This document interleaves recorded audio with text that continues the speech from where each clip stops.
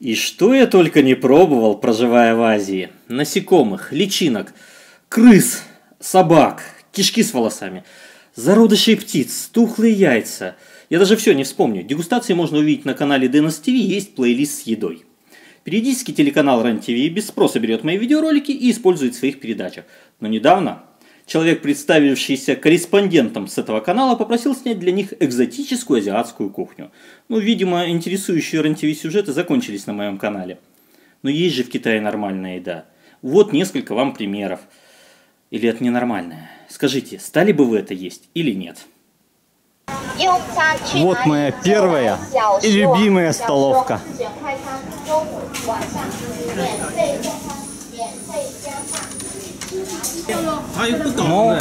Рис.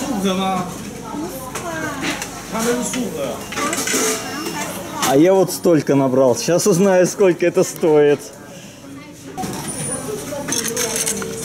Пожадничал. Все это стоит 41 юань.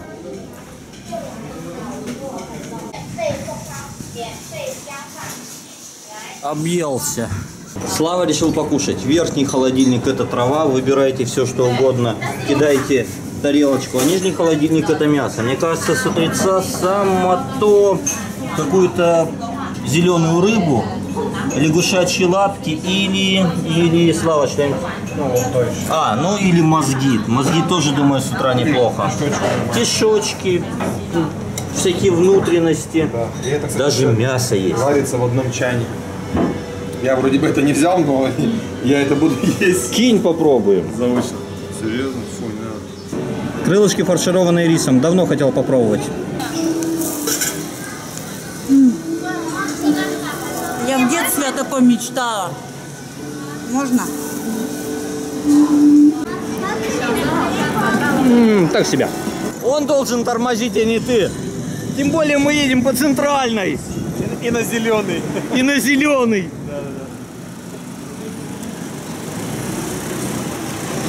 По тротуарам тоже нельзя ездить. У них можно. У них можно. Пахнет едой. Вот здесь новый ресторан. Вот. Нифига вы набрали тут, а сколько? Вот это вот, вот это и вот это стоит 35 юаней. А у меня 36. Я жрать хочу. Реально, я есть хочу. Рис и всякая там байда бесплатно. Ну, в смысле, в дополнение к вот этому. А вот это на вес. Сколько наберете, все по весу. То есть у меня вес такой же, как у вас вдвоем. И, и вот эта зелень стоит столько же, сколько креветки. В том числе вот эта огромная креветка и вот эта баранина и все-все-все одинаково стоит по весу. Следующий вопрос. Ты все это съешь? Да? Громадная. Серьезно, маленькие вкуснее. Покупайте маленькие креветки, они вкуснее. Двойное яйцо. Я думаю, мальчику молоко приготовить. Чизы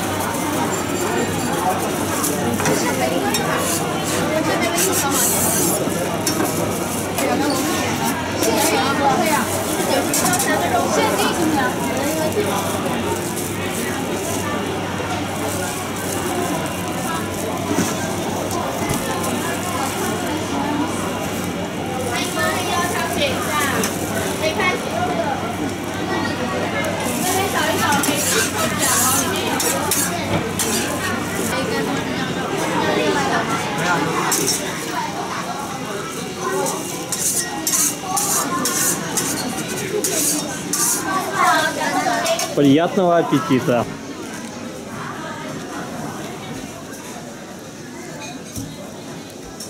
Вкусненько. Это самое дешевое хонча. Но вкусное. Чай с молоком. Чай с молоком и с черными жемчужинами. Поели, можно и запить. Чай э, 5 юаней. Вкусно? Слава, тебе? Ты попробуй, я уже пробовал. Ну, а тебе вкусно? По моей рекомендации ты приехал сюда попробовать самый дешевый хонча. За 7 юаней можно приобрести большой.